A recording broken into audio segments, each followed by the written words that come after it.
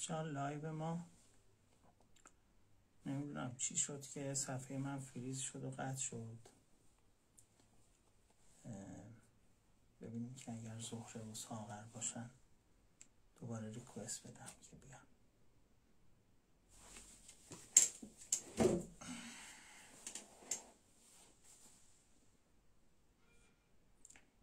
نمی‌دونم اصلا دلیلش رو که چرا اینطوری شد.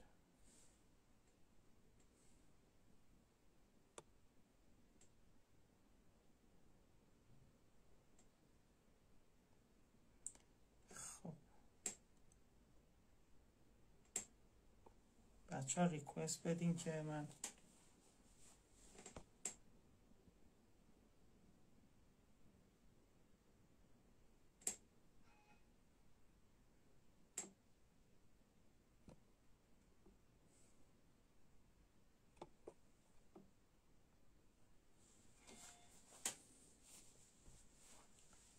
خب ریکوستاتون رو من نمی‌بینم. ساغر و زهره. صدا ندارم.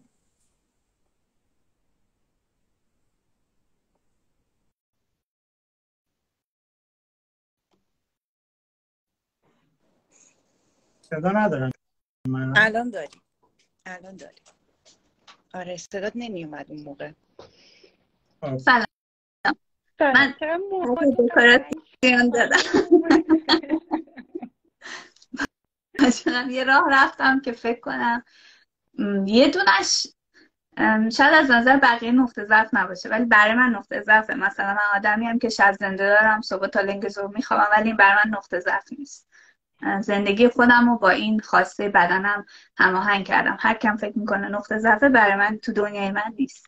اما نقطه ضعف خودم اینه که من یه سری بدنم یه سری مشکلاتی داره. مثل اینکه مثلا مفاصلم تون در میرن یا تو سرما مخصوصا. یا مثلا تو قلبم یه کمی الانم دارم میگم باز چیزم دوست ندارم. بعد این باعث میشه که مثلا توی جاهایی که میریم یه اتفاقایی بیفته. مثلا می‌خوام برم تور کوهنوردی.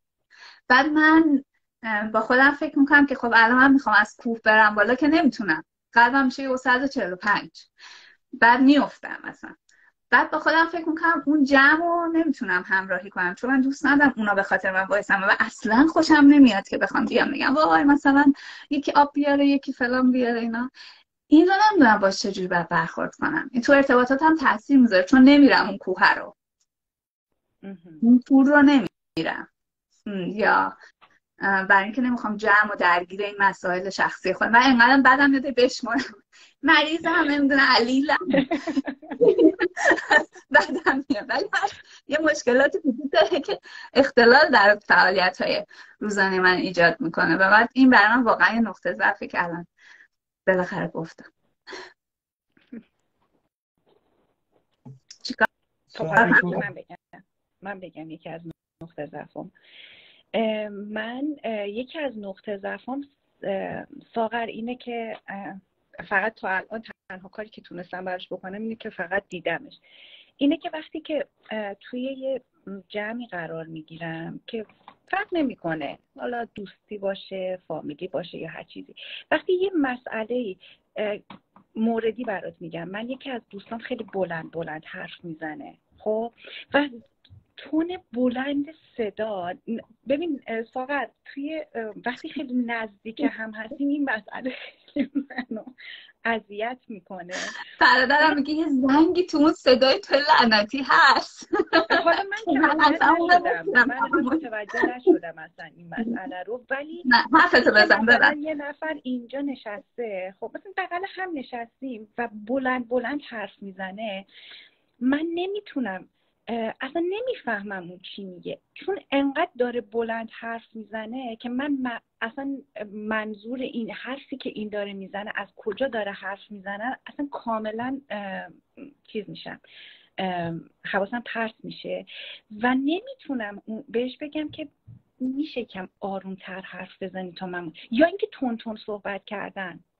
خیلی هست و حالا خیلی جالبه که برای من این اتفاق تو همین یک ماه گذشته چند بار تکرار شده و باز من نتونستم بگم. بگم میشه کم آرومتر و شمرده تر حرف بزنیم باز اینو هم نمی‌تونم. و وقتی اونجا رو مثلا دیگه از هم جدا میشیم میام خونه باور کردنی نیست که من تا 24 ساعت سردرد دارم. و انقدر تو اون حالت سردرد به خودم چیز می‌کنم مثلا میگم خب چرا نمیگی؟ یه کلمه بگو. بگو که اتفاقی نمیفته نهایتش اینه که فاصلش رو از تو بیشتر می‌کنه. نهایتش اینه که بالاخره یه کاری می‌کنه. ولی چرا همون لحظه نمی‌تونی به اون آدم این مسئله رو بگی؟ و خب این در کل حالا من نمونه موردی گفتم ولی توی ارتباطاتم وقتی یه چیزی منو اذیتم می‌کنه نمی‌تونم راحت در موردی صحبت کنم. بی احترامی که قطعا بی احترامی نیست خیلی از صحبت که آدم می‌کنه ولی می‌تونه حداقل بگه من توی این مورد دارم اذیت میشم. می‌تونید کاری برای من انجام بدین؟ ولی من اینم نمی‌تونم این کار نمی‌تونم بکنم. اتفاقا ما در این مورد پریشب که با زیبا لایو داشتیم زیبا خب همین مشکل رو من خودم هم دارم دیگه. وقتی مثلا من از برخوردهای منصور خوشم نمیومد نمی‌تونستم رو در رو بهش بگم که خب منصور من از این برخورد تو زیاد خوشم نمیاد بدم میاد از این برخورد. خب زیبا یه راهکاری که داد این بود که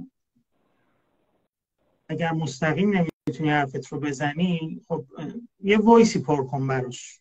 یه voice پر کن براش بفرست. یا یه ویدیویی پر کن براش بفرست. خب بگو که من این ناراحتی رو از تو دارم ولی خب این توانایی رو ندارم که رو در رو بهت بگم. بنابراین مثلا این وایس رو برات پر کردم و فرستادم. این یه راه راه حل عملی می‌تونه باشه که تو کم کم این تمرین رو بکنی که بتونی ناراحتیات رو در روابطت عنوان کنی. درسته. من یه چیزی یادم اومد که یه روزی یادم نیست زیبا جون با کی داشت حرف می‌زد. بعد داشت با اون حالت هیجانش صحبت می‌کرد. آذرجون نشسته بود کنارش. بعد بهش گفتش پاشد رفت. بعد زیبا گفت چرا داری می‌گفت به خاطر این تو داری داد می‌زنی گوشم درد گرفت. و خب زیبا هم گفتش که آره پس برو. و بعدم با اصلا یهو آرومتر صحبت کرد.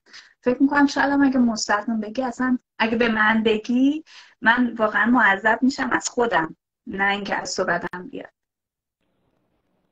ممکنه که این باشه. در مورد من هم یه راهکار داره دیگه. استاد. من الان آخه چی بگم راهکار تو از من راهکار خواستی؟ بله قرار شد بگیم که تا چجوری تابولا رازا کنیم تو کانکشنمون ارتباطاتمون بهتر بشه. بگم من الان هیچ فعلا نمی‌تونم چیزی بگم در مورد. همون که نمی‌تونم این رو عنوان بکنم و فکر می‌کنم دوست ندارم بقیه با ترحم بهم نگاه کنن و منو با ضعفای جسمیم بشناسن. خب بشناسم. بیا اصلا در مورد اگه از ضعفای جسمیت میترسی خب تنها راهکاری که و بهترین راهکاری که می‌تونی بیاید در موردش صحبت همین پیجت. از همین پیجت استفاده کن. بیا اونجا مطرح کن که خب من الان این مشکل رو دارم. و وقتی در موردش صحبت می‌کنی خب این مسئله برای تو عادی میشه دیگه. خب بذار اصلا هر کسی ترحم بکنه هر کسی نمی‌دونم می‌خواد مسخرت بکنه.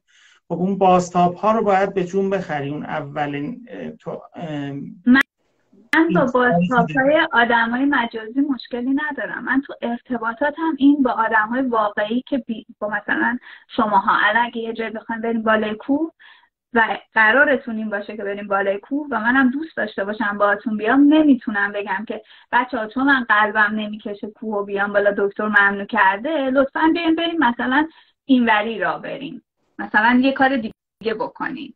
می‌دونی منظورم چیه. با اون که خب دارم میگم دیگه اون مشکلی نیست. تو ارتباطات هم اختلال ایجاد می‌کنه.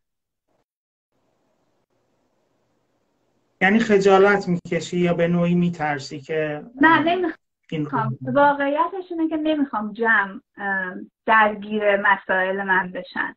اینه در تو می‌تونی این کار رو انجام ندی دیگه. خب درگیرتون هم میگی که من نمیام.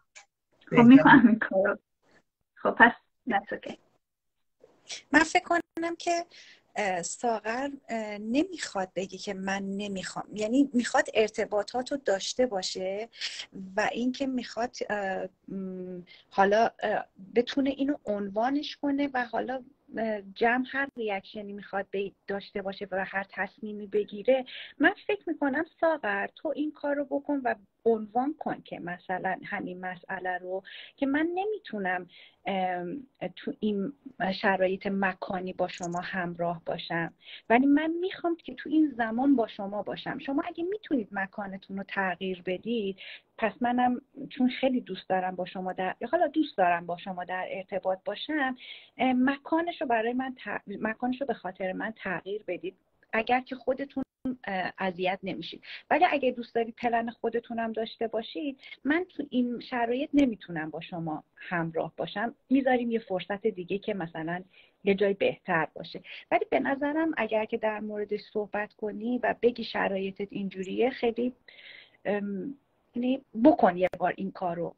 این کارو بکن. این از همون چیزاییه که من بهت میگم عملا وقتی انجامش میدی ترس ذهنی تو و خودتو میندازی توش بعدش می‌بینی چه اتفاقای جالبی میفته و چه مسائل جالبی برای تو پیش میاد. و حداقل چیزی که برای تو اتفاق میفته اینه که بارش از توی از روی مغز تو برداشته میشه. و این کارو بکن. اینکه ترس ذهنی تو اول مطرحش کن و بعدش ببین چه فیدبکی برای خودت داره. نه اینکه حالا هر اتفاقی می‌خواد بیفته یا دوستای تو هر چیزی می‌خوان بگم بگم مهم نیست. اینه که اون بار ذهنی از روی ذهن تو برداشته میشه. از روی فشارش از روی تو برداشته میشه. من خودم حالا تازه اول راه دارم تاتی تاتی می‌کنم. جلوی وحید نمی‌تونم خیلی صحبت کنم. ولی اگه فکر می‌کنم این راهکار راهکار خوبی باشه که در موردش شکم فکر همینه. تو باید اون تاوان رو بدی. باید با این ترست مواجه بشی. حتی به تاوانش این باشه که تو روابطت رو از دست بدی. تو مهم اینه که اون ناراحتیت رو بگی و بگی که خب الان من شرایطم اینه. اگر می‌خوان که من تو جمعتون باشم اگر من مهمم خب برنامه هاتون رو باید جوری تنظیم بکنین که من بتونم اون برنامه رو با شما ادامه بدم. نه اگر فقط صرفا خودتون رو در نظر می‌گیریم خب من نمی‌تونم. خب به لحاظ جسمی من این مشکل رو دارم خب و نمی‌تونم. و یک بار تو بگی خب این, این آدم خب متوجه اون مشکل تو میشن. و اگر تو براشون مهم باشی که خب برنامه ریزی هاشون طوری میشه که تو رو هم در نظر بگیرن. و اگر تو براشون مهم نباشی خب ادامه میدم به همون برنامه خودشون و در عمل تو رو انگار دارن حس می‌کنن. خب باید این رو بگی. وقتی تو نگی من از, از کجا بدونم تو مثلا الان خب مثلا پادرد داری تو کمرت درد می‌کنه تو سرت درد می‌کنه. باید اون دردت رو ناراحتیت رو بگی. نمی‌دونم. گفتنش رو گفتم توی شرایط مختلف و همیشه پیامدهای بدی داشته. پیامدهاش چی بوده؟ خب پیامدش آدم ها قبول نمی‌کنن. اولین پیامدش اینه که اونا فکر می‌کنن تو لوسی خب باشه. اصلا مهم نیست اونا جریانی پیش میاد که اونا می‌خوان این دختر لوس و هر طور شده با خودشون همراه بکنن. هی تو بدتر میگی که بابا جون بعد هی هرچی این بحث بیشتر پیش میره مسخره تر میشه. یعنی هی تو بیشتر مجبوری توضیح بدی که و اینجوریه نمی‌دونم اون اونطوریه نمی‌دونم دکتر فلان قد فلان خاله فلان اینا هی توضیح میدی بعد اونا هی بیشتر برو بابا نمی‌دونم فلان و اینا حالا یه کوه دیگه پاشو یعنی آره این روش روش خیلی درستیه اما ولی خب اون سراحت رو نداری دیگه. و میای وارد یه سیکلی میشی که هی می‌خوایم اونا رو مثلا خودت رو ثابت بکنی که نه من این شکلی هم من اون شکلی هم نه از مثلا یه سوها می‌کنی. خب تو یک بار حرفت رو می‌زنی. خب اینا وقتی نمیپذیرن بگو خب اصلا من نمی‌خوام. نمی‌خوام تو برنامهاتون باشم. خب حالا شما اصلا دلیلش رو می‌خواین لوس بودن من بذارین ضعف من بذارین. دلیلش هرچیه مهم نیست. مهم اینه که من الان خواستم اینه که من با شما مثلا همون کوه رو نیام. شما می‌تونین خب برنامهتون رو بدون من پیش ببرین دیگه. ولی من نمی‌خوام تو این برنامه شرکت داشته باشم. چون به لحاظ نه به لحاظ فیزیکی الان دوست بدنم می‌کشه و نه وقتی من فیزیکم ناآرام باشه خب قطعا تو نه لذتی می‌برید از اون جمع و از اون ارتباط و خب روحن هم داری عذاب می‌کشی که خب من چرا دارم این کار می‌کنم؟ مثلا من الان کمرم درد می‌کنه من الان قلبم درد مرسی.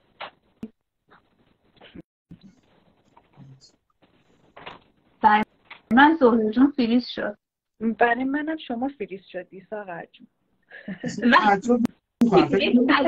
زیادیه.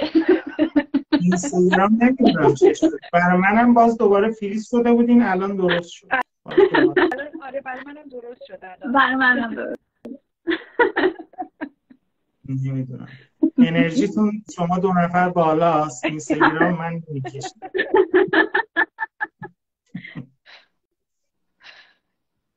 خب دو خب سوالی از ما داری؟ سوالی می‌خوای بپرسی؟ چیزی به ذهنت می‌رسه که بخوای بپرسی؟ سوال خاصی که چون من با پیش زمینه قبلی نیومدم تو این live واقعا فکرم نکردم در مورد اینکه حالا چه سوالی می‌تونم. چون به ساغرم گفتم موضوع خاصی اصلا نمی‌خوام داشته باشیم. همینجوری میایم صحبت می‌کنیم. حالا هر موضوعی که پیش اومد نظرات رو میگم الان نمی‌دونم سوال خاصی که به ذهنم نمی‌رسه الان. اگر شما سوالی از من دارید خب بپرسید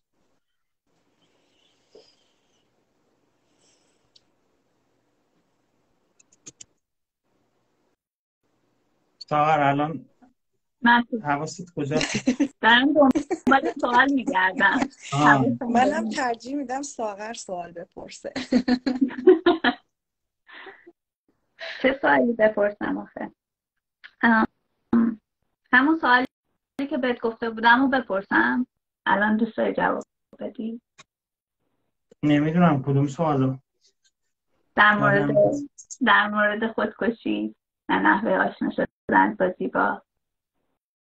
آره اینا حالا بارها که تو لایوا گفتم ولی مختصرا الان خب میگم بازم.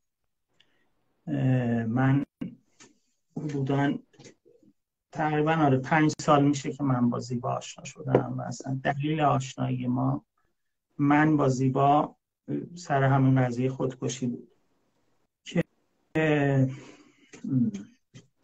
اون موقع البته فقط افکار خودکشی بود اقدامی نکرده بودم پنج سال هم. و بعد تو اینستاگرام همینجوری میچرخیدم و این کلمه رو مثلا search کردم ببینم مثلا در موردش چیا هست بعد دیگه یکی از live های زیبا رو دیدم در مورد خودکشی. و بعد بهش پیام دادم گفتم چیزه.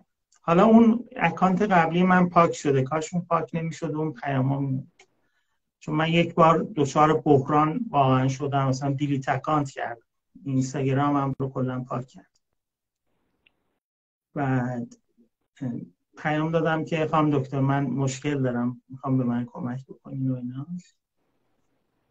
بعد خیلی عالی و سریع جواب داد و من رفتم گروهش و بعد دیگه اتفاقات زیادی افتاد. من خودم خیلی نوسان داشتم تو این گروه. خیلی بالا پایین داشتم. حالا اون زمان من... مشکلی که عنوان کردی چی بود؟ ببین گفتم من می‌خوام خودکشی کنم یا می‌خوام یا این جسارت رو پیدا کنم که این کار بکنم یا یه کاری بکنین که من این فکر از مغزم بره یعنی مثل خوره افتاده تو مغزم. یعنی فقط دارم مدام به این قضیه فکر می‌کنم که خب الان من برای چی زندم؟ برای چی دارم مثلا زندگی می‌کنم؟ یعنی تمام معنای زندگی بر من اصلا پوچ و بیمعنی شد. هیچ لذتی از هیچ چیزی نمی‌بره. و خب. تمایل به سکس داشتی اون موقع؟ کم. حالا یادم نیست دقیقا چون میگم مال پنج سال قبله ولی تقریبا آره. اوکی. خب ولی یه آدم افسرده بودم. یه آدمی بودم که خب ببین من یه به یه مشکل مالی خورده بودم. من یه ورشکستگی داشتم. من خونم رفته بود. نمی‌دونم کارگاه رفته بود همه چیز رفته بود همه یه سرمایه هم رفته بود. به حال اینا یه عاملی بود که من کم بیارم. و اصلا اسم می‌کردم برای چی الان من زندم؟ برای چی من دوباره می‌خوام از به خاطر اینکه به خاطر اینکه ببین الان برگشتن تو به ایران دو تا دیدگاه داره. یه دیدگاه اینه که تو نتونستی ترکیه بمونی. یه دیدگاه اینه که تو با موفقیت این سفر رو تموم کردی و به نظر من این دومیه. اما خود آدم بعضی موقع اون دیدگاه اولیه رو می‌بینه. بعد اونجا بودی که می‌خواستی خودکشی کنی یا نه؟ کلا مثلا دیگه. یعنی فکر می‌کردی دیگه همه چی به شکست خورده. اصلا فکر می‌کردم کلا واقعا معنی نداره دیگه. من برای چی دوباره باید الان از صفر شروع بکنم؟ نمی‌دونم بیا دوباره کارگاه بزن کار کن. من از بس آدم اکتیوی بودم توی کار. زحمت کم نکشیده بودم برای این کارم. یعنی خودشم از صفر شروع کرده بودم. بی نهایت زیاد کار کرده بودم. ولی خب به خاطر اشتباهات خودم از دست رفتمش. یعنی کسی دیگه ای رو من مقصر نمی‌دونم. خودم بودم. ضعف های مدیریتی خودم. به هر حال به این نقطه رسیدم که خب دیگه پوچه دیگه برای چی من الان زنده بعد دیگه رفتم تو گروه و خب طبق معمول زیبا اولین راهکاری که به همه آدمایی که با مشکلات روحی روانی خب هممون به یه نوعی مشکل داریم. اولین راهکاری که میده خب میگه که خب ارتباط بگیر با آدم. برو دو نفر رو ببین. من فکر کنم می‌خوام بگی دیگه برو خودکشی کن بمیر. حالا اونم گفته به من بابا برو بمیر دیگه. برو خودکشی کن برو بمیر. از زیبا اینو فکر می‌کنم آره آره. اصلا مرحله گذاروندیم بعد اونو اول بعد به ورود به گروه نگفت نه. حالا من یه مقدار اومدم ناله کردم و مثلا من حالم خرابه می‌خوام خودکشی کنم من بلم بلم. بعد گفت یه خودکشی کن برو یه خودتو بکش. یا اینکه اگر می‌خوایم حالتو خوب کنیم باید یه حرکتی بکنیم. و همین پروسه خیلی زمان بر بود برای من. من فکر می‌کنم چندین ماه طول کشید که من یک نفر رو بتونم برم ببینم یعنی اصلا حرکت نمی‌تونستم بکنم. یعنی واقعا فکر می‌کردم یه مرده متحرکم هیچ انگیزه و امیدی برای زندگی نداشت. و خب ببین همین پیشنهاد بظاهر ساده که وقتی میگی که برو دو نفر رو ببین. خب از نظر خیلی خب میگی که خب الان مثلا من برم دو نفر رو ببینم مثلا برم زهره رو ببینم می‌خواد چه اتفاقی میفته مثلا برم ساغر رو ببینم چه اتفاقی قرار خب به ظاهر این مسئله ساده است ولی وقتی تو تو این پروسه قرار می‌گیری و خودت رو وارد همین روابط می‌کنی خب کم کم می‌بینی که ناخداگاه حالت داره بهتر میشه. ببین اصلی ترین عاملی که من فکر می‌کنم آدما خیلی افسردن خیلی ناامیدن اینه که خیلی تنها. خودشون رو توی یه فضایی حبس کردن یا حالا فضای کاری باشه. نه اینکه یه فضای فیزیکی نمیگم فضایی که یا تو کارشون خودشون رو حبس کردن یا تو روابطشون یا هر چیزی که به حال اون حس تنهایی اون حس گوشنشینی رو دارن و حس می‌کنن که خب واقعا و از این تنهاییشون به یه نوعی هم لذت می‌برن ولی این خب این عاملی میشه برای افسردگی آدم ها. ولی وقتی خودت رو از اون تنهایی از اون قار تنهایی می‌کشی بیرون میری دو نفر رو می‌بینی میری وارد روابط میشی. مثلا باشون یه چایی می‌خوری معاشرت می‌کنی. خب همه این عوامل باعث میشه که تو کم کم نه با سرعت این پروسه میگم زمان بره برای من شاید سه سال طول کشیده. چهار سال طول کشیده. الان یک ساله که مثلا خیلی قوی کنار زیبا الان دارم کار می‌کنم. قبلش بودم ولی خب متزلزل بودم خیلی دچار بحران شده بودم. بعد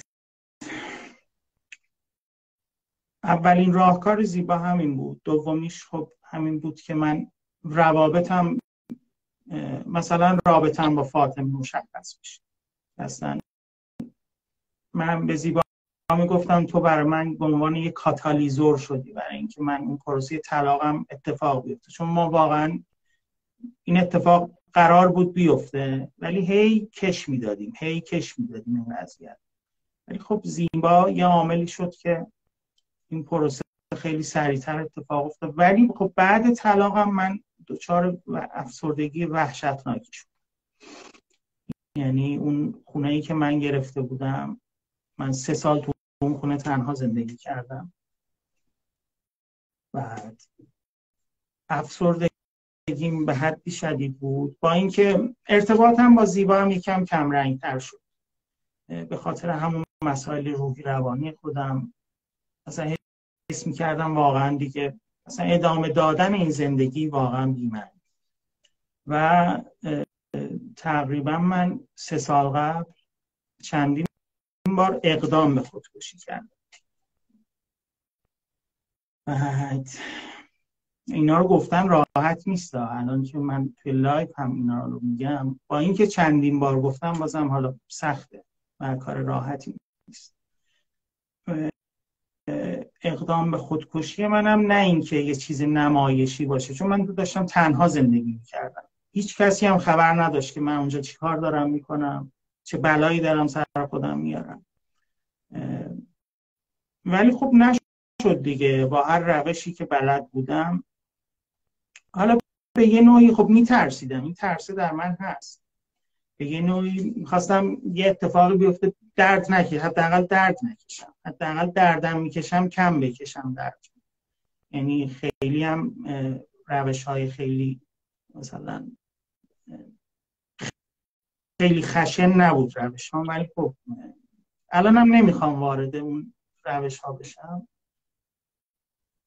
به حال این اتفاق افتاد و خب بعد اون خودکشی ها بعد گفتم خب نمیشه دیگه. من این اتفاق نمیفته حتما دارم. وقتی اون کارا رو انجام می‌دادی دردناک بود یا اینکه نه؟ یک عملی بود انجام می‌دادی؟ می‌خوام ببینم اگه دردناک بود بعدش حست خوب می‌شد یا نه؟ بعدش هم احساس سرخوردگی می‌کردی که بازم که اینم که نشد.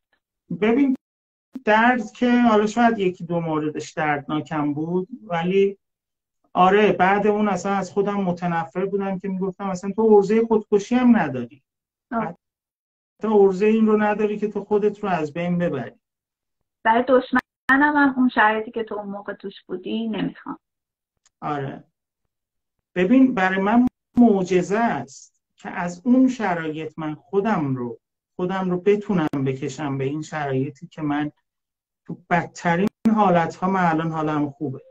بدترین شرایط بحران ها من به راحتی یعنی الان من مدیریت بحران دارم و همه مسائل رو به راحتی من الان حلش می‌کنم. بدون اینکه خب ناراحت میشم درد داره. من وقتی تو اون پانسیونی که پر از ساس بود. من شبش داشتم گریه می‌کردم ولی درد داشت برای من. ولی خب اون گریه ناراحتی اونقدر عمیق نبود که من بگم که من دیگه بسته نمی‌تونم ادامه بدم یا بسته من کم آوردم یا اصلا بازم بخوام خودکشی بکنم نه. حتی زیبا اومد به من گفت که وحید مثلا تو این شرایط بازم به خودکشی فکر کردی؟ گفتم یه لحظه اومد رفت. اصلا فکر کردن نبود. من بخوام در این مورد فکر بکنم یا ناامید بشم از اون وضعیت. خب اینا قطعا هنر زیباست. یعنی من زندگیم رو همه چیزم رو خب مدیون زیبا. وقتی زیبا با همه بالا بالا پس چیز بالا پایینی هایی که با روابط من و زیب رابطه زیبا و من بوده ولی قطعا کمک هاش مثلا مثل معجزه بوده برای من. درسته من خودم خواستم. تاوان زیاد دادم تو این مسیر. خیلی درد کشیدم ولی قطعا نتیجهش رو الان خودم می‌بینم که خب من اینو می‌خواستم. من اینو می‌خواستم که خب تو هر شرایطی حالم خوب باشه و الان حالم خوبه. من الان اون, اون روز به زیبا هم گفتم. گفتم اصلا به من فکر نکن. من حتی اگر برم زیر پل هم بخوابم فکر منو نکن. من الان حالم خوبه. من حتی برم پارکم بخوابم زیر پلم بخوابم انقدر آرامش درونی دارم و انقدر اون باور رو به خودم دارم که و می‌دونم که این شرایط رو می‌تونم تغییر بدم. و من اینو می‌خواستم از زندگی. قطعا بر من یه موفقیت بزرگ یعنی یه چیز فوق العاده است برای من. این این تحول خیلی بزرگه تو زندگی هر کسی. یعنی خیلی ها اون قسمتی که تو تو تنهایی بودی دیگه بیرون نمیان و همه زندگیشون داغون میشه. خیلی ها تو اون مرحله که با همسرت نمی‌تونستین تصمیم بگیرین که یعنی نمی‌تونستین بکنی بیای بیرون اونجا رو میمونن توش تا ابد. این و من برام در مورد تو وحید خیلی جالب اینه که همه کارا تو دور تند بوده. یعنی یعنی اتفاقاتی رو که تجربه کردی مثلا میگی چند ساله؟ میگی چهار ساله. و من میگم یا علی چهار ساله. چهار ساله این اینا رو کشیده. یعنی معمولا هفت ساله بعد تو بعد الان میشه اینا رو بر ما تعریف می‌کردی. بعد می‌گفتی که من نمی‌دونم دارم میرم که خوب بشم و فلان و پروسه. یعنی رفتی تموم شده چرخوندی بعدی تموم شده می‌دونی یعنی این کندن تو این همون تابولا رازات و توی زمان خیلی کوتاه من نمی‌دونم چجوری تونستی. واقعا من مجبور باشه می‌تونه ولی تو مجبورم خیلی دردناک این مسیر و من کم اذیت نشدم کم درد نکشیدم. ولی خب اون درد کشیدنی میارزید به اینکه من به این نقطه برسم. چون می‌دونستم که به این نقطه می‌رسم چون باور کردم زیبا رو و اصلا به روشاش ایمان آوردم. نه زیبا ها اصلا تفکرات زیبا رو. بحث این نیست که من زیبا رو بت بکنم برای خودم. بحث این تفکرات زیباست که انقدر بهش ایمان دارم و تو زندگیم سعی می‌کنم که تو همه مراحل زندگیم تو همه ابعاد روابطم این رو به کار ببرم. دارم سعی می‌کنم هیچ ادعایی هم ندارم که من الان خیلی مثلا صد درصد آدم صادقی هم نه ولی سعی می‌کنم که تو این مسیر هر روز خیلی سریع رفتی جلو. خیلی سریع. من فکر می‌کنم حتی خود زیبا هم قاطعانه بتونه بگه من آدم صادقی هم. آدم خودش نمی‌دونه بعضی وقتا حتی. اینو یعنی من گفتم به هم که میه میشینی جلوی اون آدم ها میگی که جلو خود طرف که تو اتاق بغلیه میگی من به تو ضعف دارم و از دیدگاه روبرو نمی‌تونم بهت نگاه کنم. دیگه بقیهش از صداقتت مشخصه. من یه چیزی دارم. الان فکر کنم اینجا بعد یه, رو به دیگه من برم. حالا شما می‌تونید نمی‌دونم live چقدرش مونده. می‌تونیم یه دو سه دقیقه با هم صحبت کنیم من برم لباس بیرونم هم بپوشم. بریم با هم بریم بیرون. یا اگه live تموم شده که تمومش کنیم.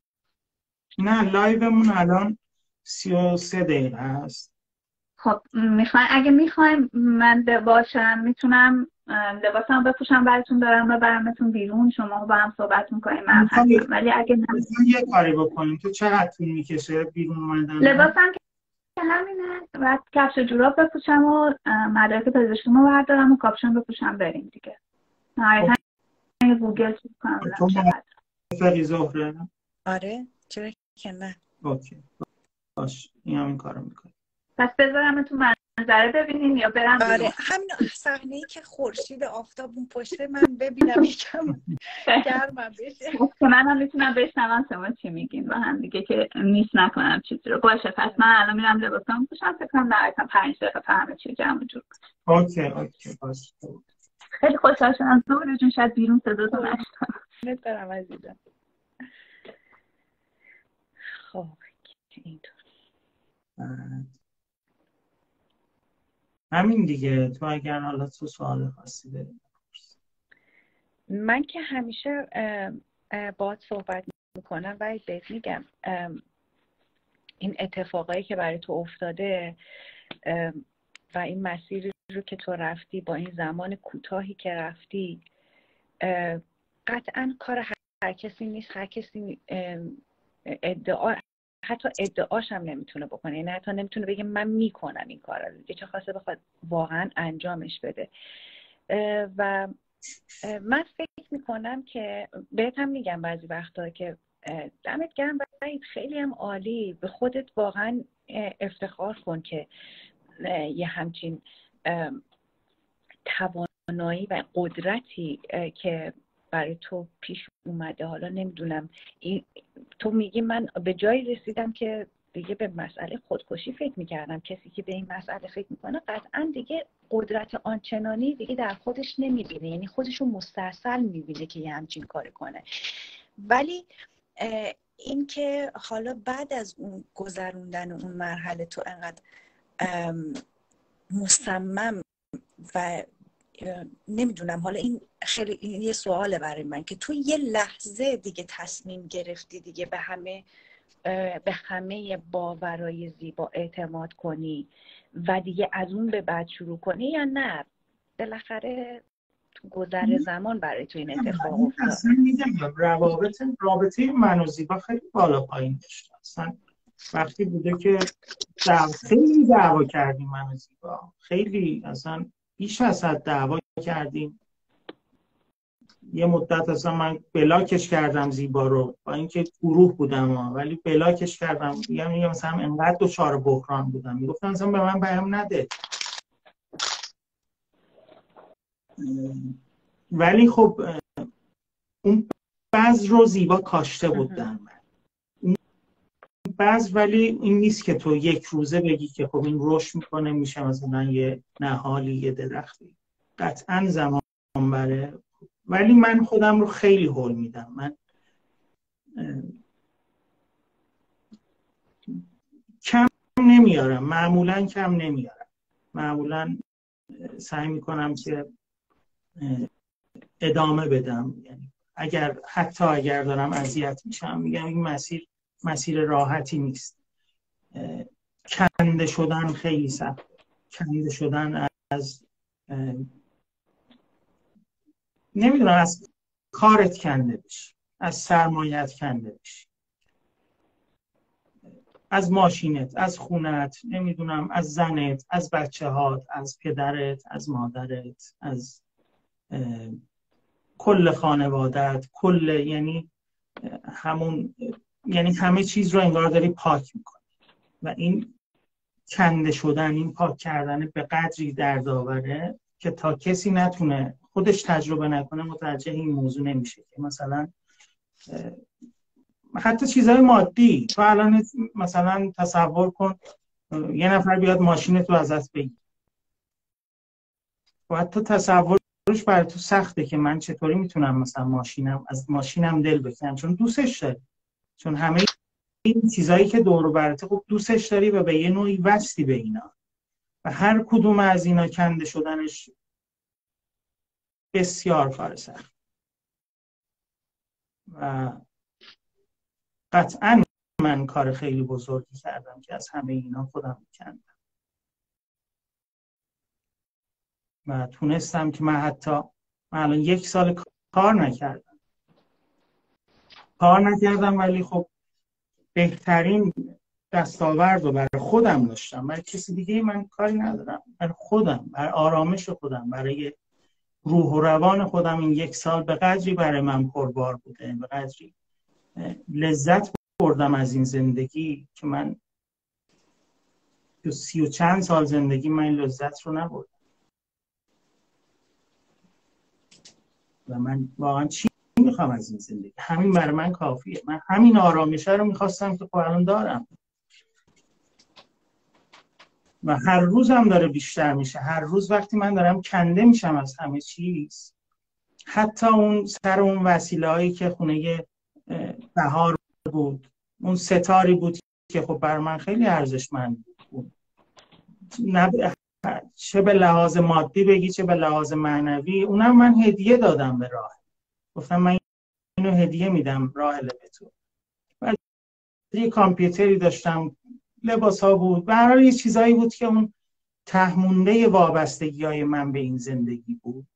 به یه نوعی نتونستم. نتونستم بفروشم. نمی‌تونستم اونا رو بدم بره. یعنی دو دل بودم. نمی‌تونستم مثلا. گفتم بذار اینم به یعنی اون هست دیگه. اون وابستگیات تو همه هست. و این هنر رو خب حداقل من دارم که مثلا بذار بره. ببر بدون صد آشغال. اصلا دیگه الان فکرم بهش نمی کنم که ای وای من الان ستارم رفت ای وای کامپیوترم. بره. و خب. و به این قدرت روانی رسیدن خب میگم تو یک روز اتفاق نمیفته این پله پله مرحله به مرحله باید پیش بریم. و بتونی که همه دردان بگم من کلیر خونم نیست؟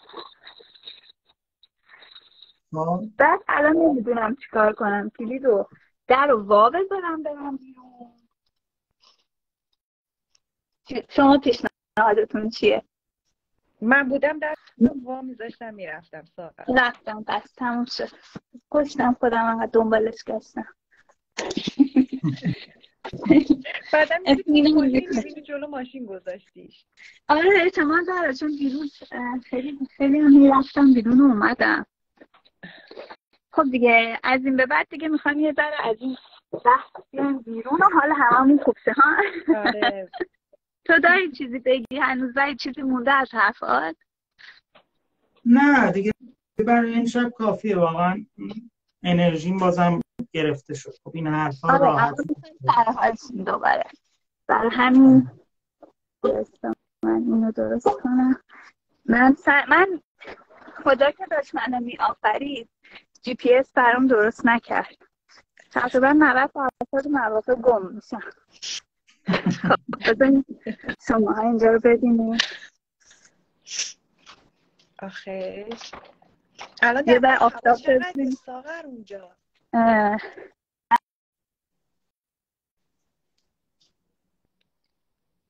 از آره.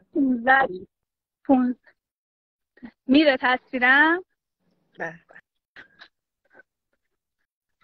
فکر کنم چهارده درجه باشه.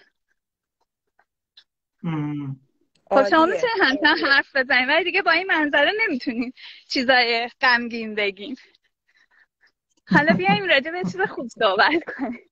راجع به مهاجرت صحبت کنیم.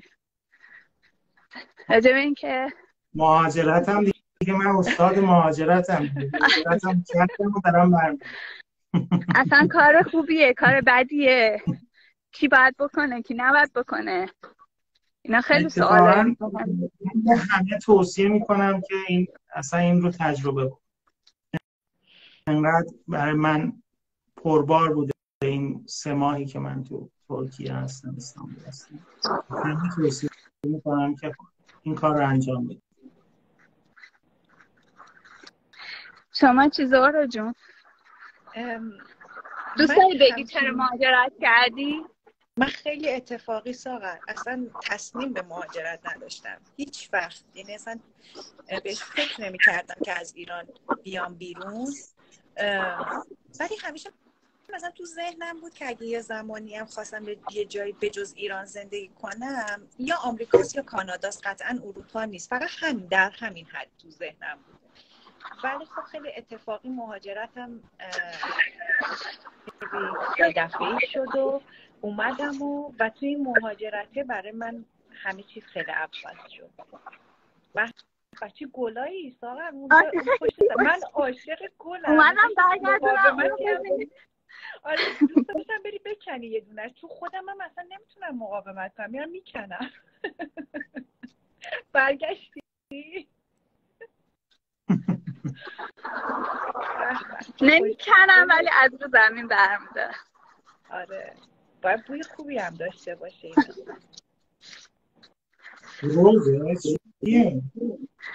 من تخصصی ندارم. بو میده ساغر بذار بوش کنم. یا من کووید دارم یا این بو نمیده احتمالا اون بو نمیده صدا رو نمیشنم خیلی ماشینا صداتون زیاد. به خودم وصل سر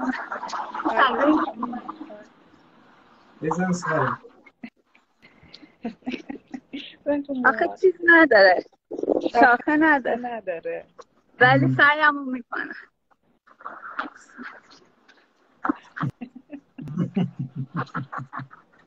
نمیشه.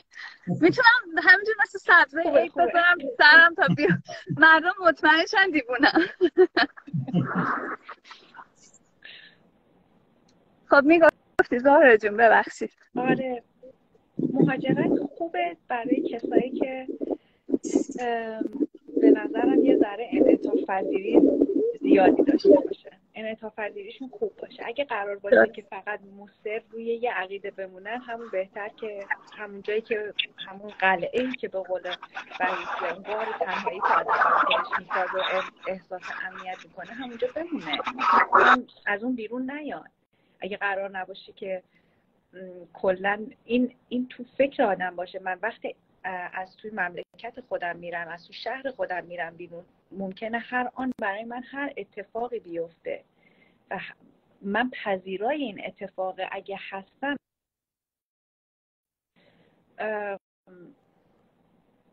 خیلی مهاجرت یه قسمت خیلی بد برای زندگیش میشه. هر کسی با این تفکر نخواد مهاجرت کنه. و یه تجربه بد میشه سرخورده میشه و سعی می‌کنه برگرده دوباره تو همون حاشیه اطمینانی که برای خودش ساخته. چون مهاجرت خیلی چالش های زیادی داره زندگی کردن توی فرهنگ دیگه تو با آدمای دیگه و هیچ چیزی اون مملکتی که تو واردش میشی شبیه اون جایی که تو حالا بزرگ شدی یا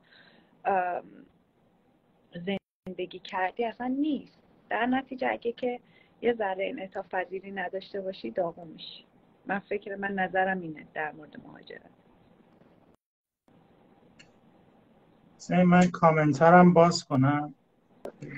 منم موافقم. فقط با این فرق که من فکر می‌کنم هنوز هست.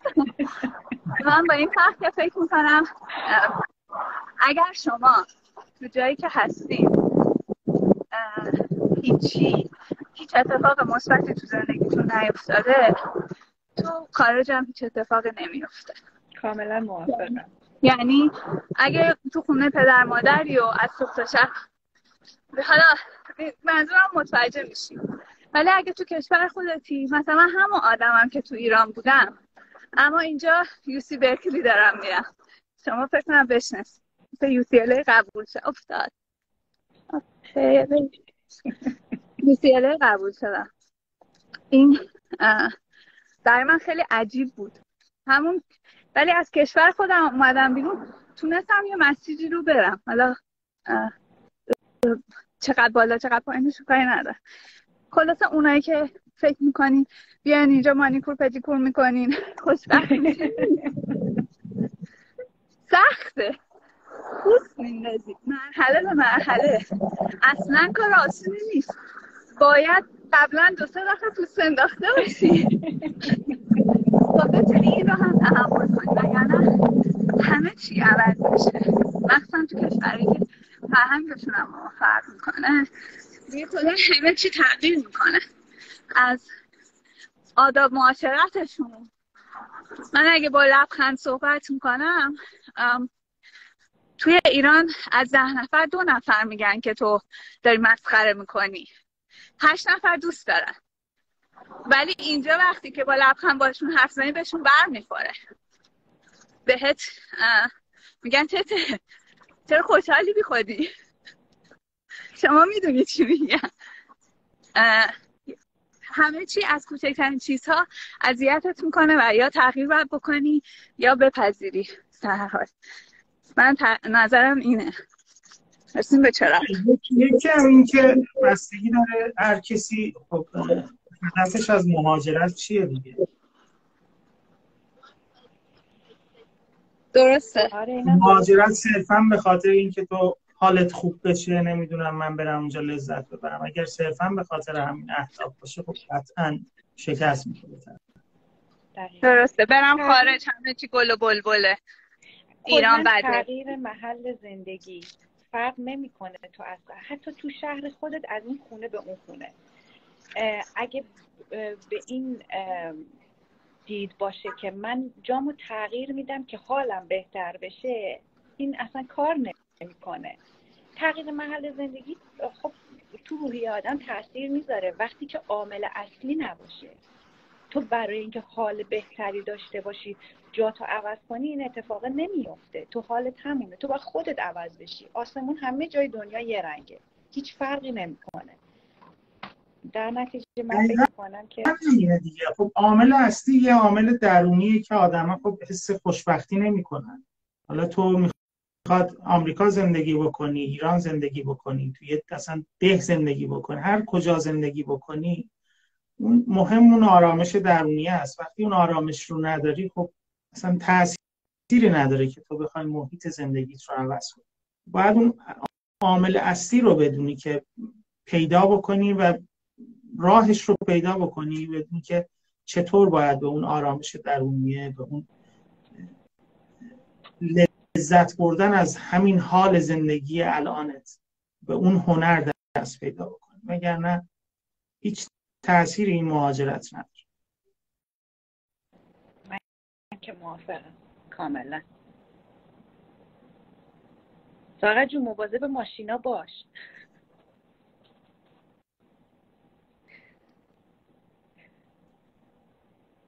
صداش نمیاد. میوت کردی. میوت کردی. صدامو قطع کنم صدا خیابون حرف شما رو قطع نکن. اینجا اصلا من بعضی موقع معذب میشم چون ماشینه یهو جفا میره رو من رو دیدم. ولی نمیان جلو. من واقعا یادم نیست دفعه پیش کجا رفتم و همطور شانسی در میرم. هر وقت وقتش بود بگیم. یکی نوشته بود که با چی پوز میدی؟ تو که نمی‌دونم پنجاه سالته حالا هرچی چهل شیش سالمه و داره چهل هفت سالم میشه به زودی. و نه شوهر داری نه بچه داری.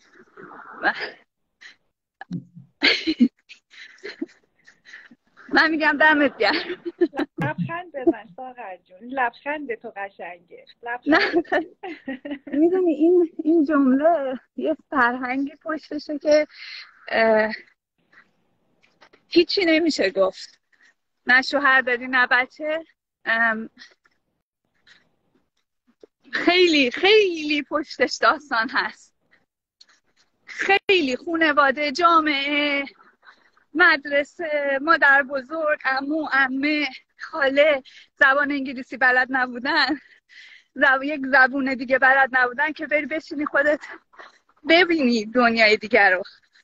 و لاقل اگه تصمیمی داری می‌گیری بدونی.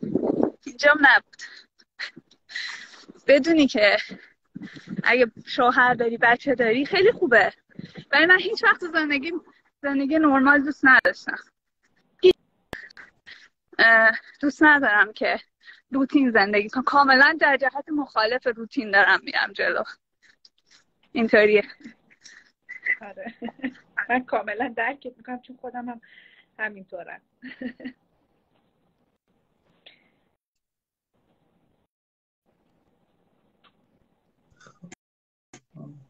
فکر کنم رد شدم. بعد اگه پیدا نکنم برم روی گوگل یا نمی‌دونم live قطع می‌کنم یا من برم بیرون. چون وقت دکترم از دست میدم. آره آره. تو می‌خوای برو بیرون ما هم یکی دو دقیقه لایو میبندیم دیگه. چون پنجاه و پنج دقیقه است خیلی خوشحال از اون جون. مرسی وحید با بعد دل کردی که حرف منم شدی ببینم ساغر آره آره. تو بیا اینجا. من نیام اونجا. مراقب خودت آره موقع مراقب خودتون باشین. خدافظ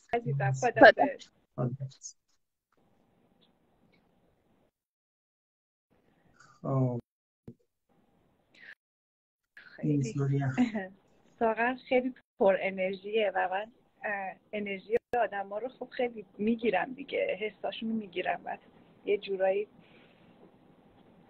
همزاد پنداری می‌کنم تو خیلی از لحظه. هایی که برش اتفاق میفته آره ساغرم دختر خوبیه.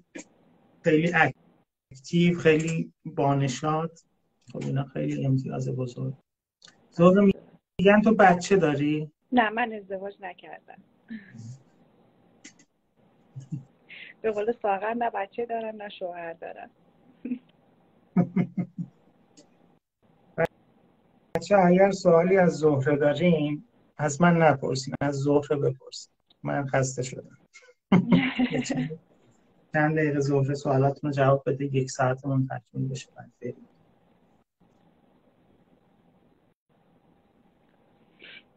میگن زهره صدای تو سرشار از آرامش. مرسی ممنون. می‌خواین که منم یه ذره حالا ساغر آفتاب بهتون نشون داد؟ بذارید پس منم یه چیزی با مزه بهتون نشون بدم که البته امیدوارم که یخ نزنم ولی؟ من چهل سالمه دقیقا.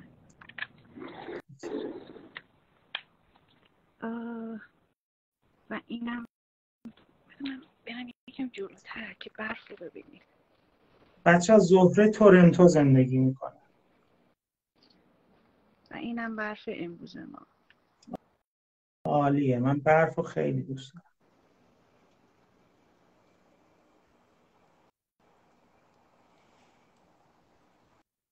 اینجا مسیریه که میشه پیاده روی کرد. البته الان که نه ولی در کل توی تابستون میشه اونجا پیاده روی کرد. خب خیلی هم جالبه. الان رفتم بیرون که این چیز رو بگیرم روزایی که برف میاد اینجا یعنی همون لحظه ای که داره برف میاد هوا خوبه. هوا آنچنان سرد نمیشه ولی وقتی که دیگه برف تموم میشه و مخصوصا شب دیگه تمام برفا یخ می‌زنه و حالا هر کی می‌تونه بره بیرون. انقدر دقیقا میشه این اینکه صابون ماریدن همینجا با یه کفش خیلی نرم داری رو صابون را میره. اصلا فرقی هم نمی‌کنه کفش چی باشه. و لیز می‌خوری. اون موقع است که باید خودتو ول کنی. اگه لیز خوردی باید خودتو ول کنی که دردش کمتر شه. اگه سفت بگیری بدتر میشه. این هم از تجربه های من توی این مدت. یا ماشینم هم همینطور لیز می‌خوره من ولش می‌کنم. بخور. هرچی دلت می‌خواد لیز بخور. بخوام کنترلش کنم بدتر میشه. بعد ظهر خاطره میگه منم تورنتو هستم. اینو اسکرین شات بگیر باز ارتباط بگیر. آره بچه من خونه سیمام فردا صبح ساعت ده دیگه میرم فرودگاه. ساعت چهار پروازم به سمت تهران. به. پر از اتفاقای قشنگ و پر از تجربه های خوب پر انرژی و اینکه به قول ساغر تو میری و ما دنبالت همجور میایم آره و قطعا برگشت من به ایرانم خیلی اتفاقات میفته منم همین فکر می‌کنم. اتفاق خیلی خوبی میفته و اینکه نه اصلا اتفاق بدم بیفته. باز اون سری من بهت گفتم. گفتم من این هنر رو دارم به دست میارم که حتی اتفاقات بد رو به نفع خودم تمام و این خوبه. این برای من مهم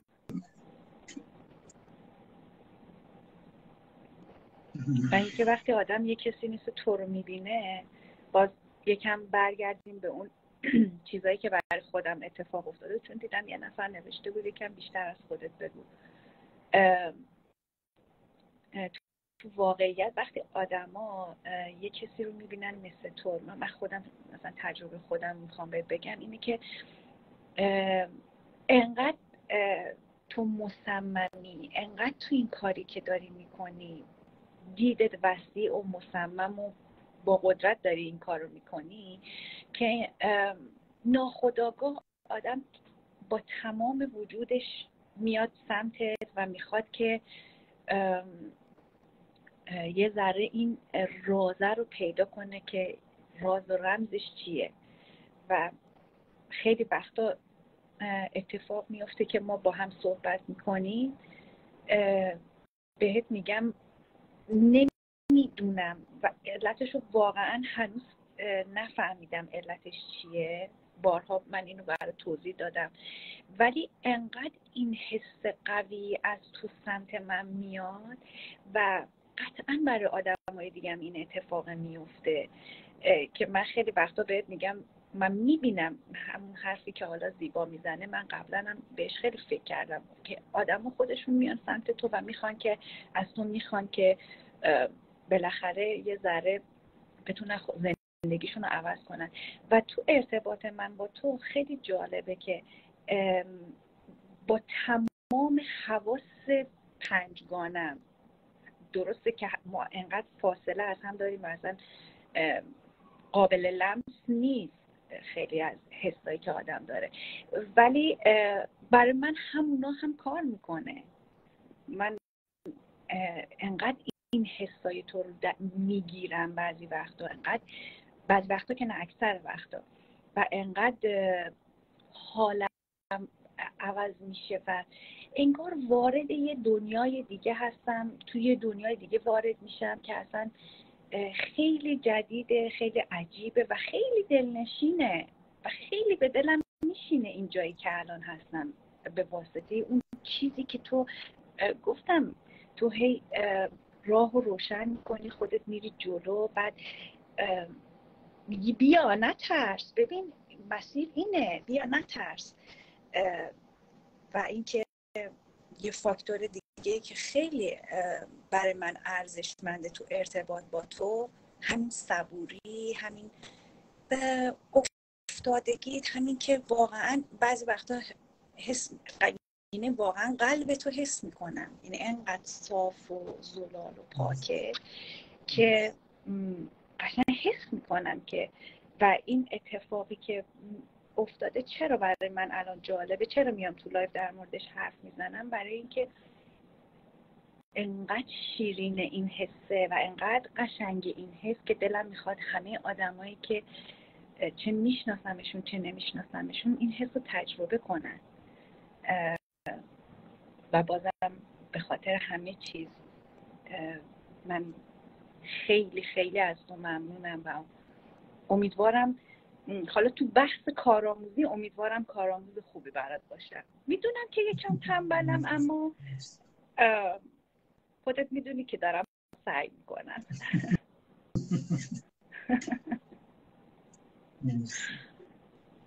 نینا داره شیطونی می‌کنه همون نینایی که من اصلا کامنت ها رو نمی‌بینم. چی میگه نینا؟ نینا بیا با وحید عاشق وحید عاشق شد چرا که نه؟ کاش این اتفاق بیفته چرا که نه؟ آره. اتفاق من زهره رو خیلی دوست دارم بچه ها دیروزم در مورد زهره می‌گفتم بهتی با زیبا هم صحبت کردم در مورد اتفاقاتی که افتاده همین. و حالا خیلی یه چیز جالب بگم. اون چیزی که ما همیشه در موردش حرف می‌زنیم اینه که طبق اون چیزایی که خب آدم بزرگ میشه تو فرهنگشه خانوادهشه جامعهشه همه چیز. وقتی دو نفر با هم ارتباط می‌گیرن همه سریع گارد می‌گیرن. او اینا ارتباط گرفتن. چی چی؟ حرف در میارن هرچی مثلا دیگه توی این مرحله برای من مهم نیست. چون استادم به من یاد داده که چجوری با این مسائل کنار بیام.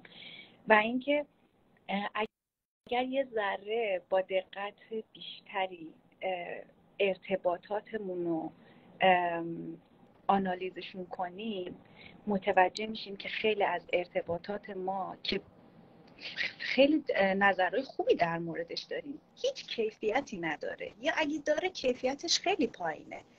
ولی اون چیزی که الان تو ارتباط من و تو پیش اومده انقدر سطح کیفی ارتباط بالا هست و خیلی از مسائل اصلا دیگه دیده نمیشه. من چند وقتیش بهت گفتم گفتم وقتی دارم با تو حرف می‌زنم حس نمی کنم دارم تو پشت دوربین هستی من دارم مثلا با تو حرف می‌زنم پشت خطی. من حس می‌کنم یه آینه گذاشتم جلو خودم دارم با خودم دارم حرف می‌زنم. و وقتی که این جنس ارتباط انقدر توش صداقت توش پاکیه و بارها اتفاق افتاده بهت گفتم که من اصلا قلب تو کاملا حس می‌کنم. و این ارتباط دیگه از اون ارتباط سطحی معمولی گذرایی که حالا آدما فکر می‌کنن که چه ارتباط خوبی گرفتن ولی چی میشه؟ یه دفعه شیش ماه یک سال دو سال ده سال میگذره می‌بینن اون ارتباط اصلا ارتباطی نبوده که یا خودشون رو گول زدن و خواستن که فقط بگن ما ارتباط داریم. ولی من نمی‌دونم که تو آینده چه اتفاقی میفته هیچ کس نمی‌دونه که تو آینده براش چه اتفاقی میفته ولی در حال حاضر مهم اینه که اگه ما با هر کسی ارتباط داریم کیفیت اون ارتباط چجوری باشه و اون آدمه چه تاثیر روی زندگی ما داشته باشه. برای منم مهمه هنوز اینه که شاید برای تو خیلی مهم نباشه. شاید آدما خیلی تاثیر دیگه مخصوصا اونایی که یکم لولشون پایین تره تاثیر نداشته باشن. ولی من برام مهمه با کی ارتباط می‌گیرم. من برام مهمه با کی وقت میگذرونم. و برام مهمه که اون آدمی که برای من وقت می‌ذاره و من وقت می‌ذارم متقابلا بعد تو این ارتباطه چه چیزی برای ما در نهایت اون تا چی میمونه برای ما؟ برای من که قطعا رشده. برای من رشده. من مطمئنم که خودم رو می‌شناسم دیگه. آدم که نمی‌تونه خودشو گول بزنه که. برای من رشده. برای من بالا رفتنه. برای من اینه که حالم با زندگیم بهتر. با خودم. اول با خودم.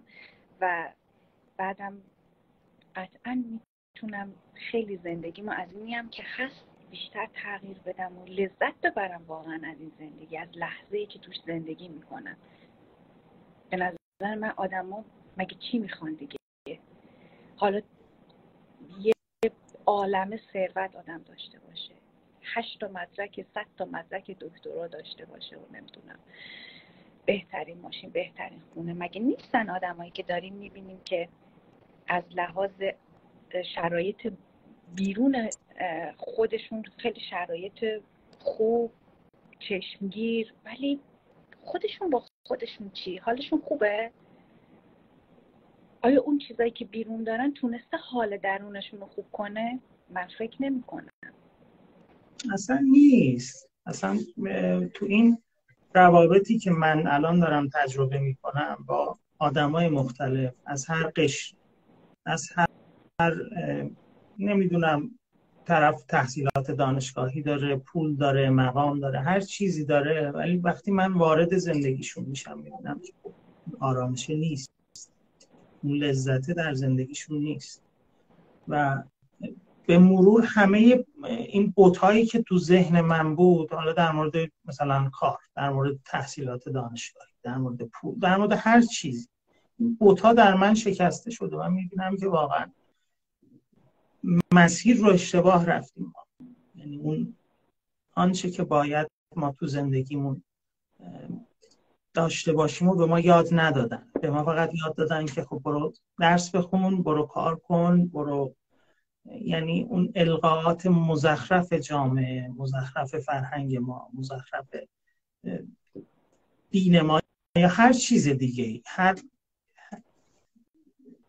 چیزایی که به ما القا شده خب می‌بینیم که واقعا این مسیر اشتباه من الان دارم خودم تجربه عینه دارم تجربه می‌کنم که همه اینها. اصلا زندگی خیلی فرق داره با اون چه که ما یاد گرفته بودیم و الان من دارم زندگی و همین دیگه. نظرم لایومون یک ساعت و ده دقیقه است. ببندیم که بتونم استوریم بکنیم. live مون. باشه. بازم مرسی بابت همه چیز خیلی ازت ممنونم. مرسی که انقدر صبوری. مرسی که قدم به قدم کنارمی میای. منو همیشه انگار که یه support حسابی فکری و روحی می‌کنی. مرسی. مرسی. سعی می‌کنم کارآموز خوبی باشم. مرسی. شب بخیر. شب بخیر.